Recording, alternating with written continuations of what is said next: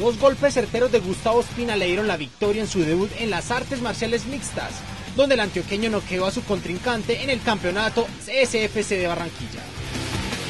La pelea espectacular, de verdad que muy buena la experiencia, pudimos ganar en el primer asalto, ganamos por nocaut. Más de 10 años en el boxeo fue razón suficiente para que Gustavo hiciera una aparición perfecta en las artes marciales, pues le bastó un solo round para ganar. Sin embargo, él sabe que esto es un deporte y que por fuera del rino, jaula de combate, lo que prima es la amistad.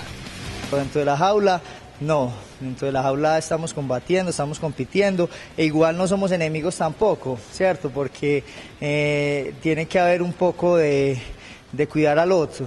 Gustavo quedó motivado y por eso quiere ser parte de más competencias. Tenemos un corazón peleador al 100%, esto es algo de corazón, de vocación y nacimos con esto, nacimos para pelear y definitivamente que las mixtas también aplican. Por ahora queda pensar en lo que se viene, pues los campeonatos de esta modalidad llega un nuevo contrincante que de seguro no le dejará fácil a ningún oponente.